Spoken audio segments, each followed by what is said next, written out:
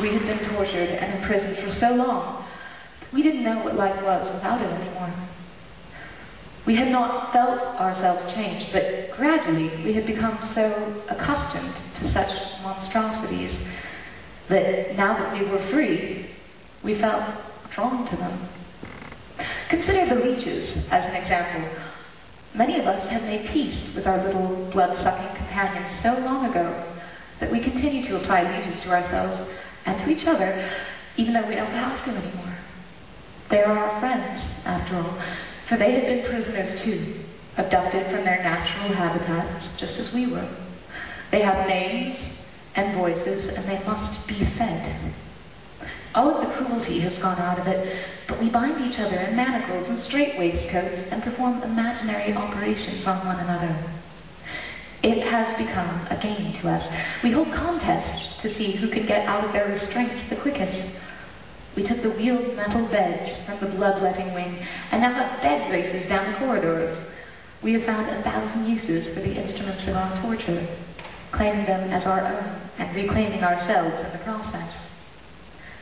The plague rats remain a part of everything we do, with Sir Edward always keeping his protective eye over us, though he does disappear now and then, just as he had often done these past years, but we always know that he will soon be back. The rats sit with us at tea, drinking from our cups, nibbling the crumpets and scones and tea cakes, for we have such things now. In fact, we have every material thing that we could wish for, and more besides. Under the asylum's old regime, our tyrant jailers had absconded our belongings immediately upon our arrival. And they sold some of our goods and spent some of our money, but there still remained rooms filled with treasures amassed over the years. More than we needed to live as frivolously as we pleased for the rest of our days.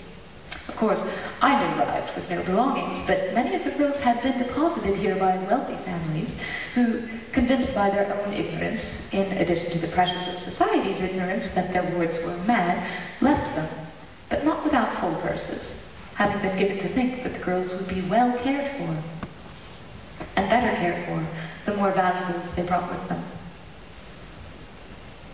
We have between us girls of every conceivable talent, from cooks and bakers who craft the most exquisite creations from pastry and spun sugar, and enable us to have high tea at both 4 o'clock in the afternoon and 4 o'clock in the morning, to master musicians of whom I am proud to count myself amongst, and who keep our extraordinary household supplied with music, for there is always music.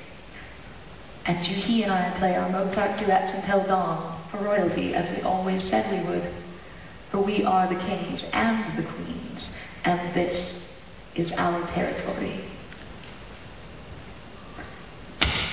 Of course, that is far from the end, but for that, you'll have to get the book, which is bigger than I am. Thank you very, very much for listening.